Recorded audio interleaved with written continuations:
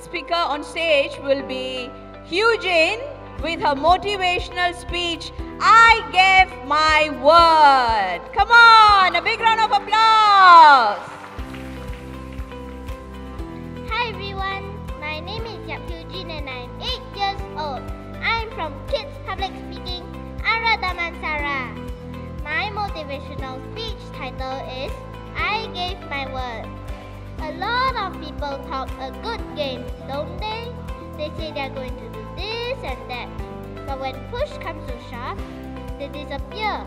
When it's game time, they're nowhere to be seen. Does your talk match your walk? Talking is not enough. You must do. Talking is not enough. You must put in the work. If you say you're going to do something, you do it. It's called integrity. If you don't, when you talk and talk and never walk, you lose pride and you lose respect. Repeat this to yourself every day. If I say I'm going to do something, I do it. If I give my word, I do it. Talk. If I talk it, I walk it. When something comes up, I give my word.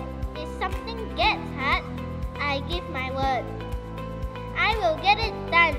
I don't even have to think twice. I get it done. I will get it done. Talkers talk, walkers walk.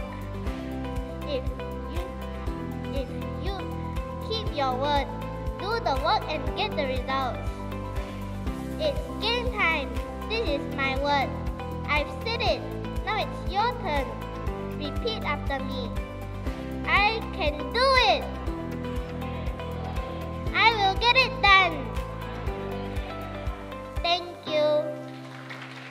Students, well done. Come on, a big round of applause to Hew Jean.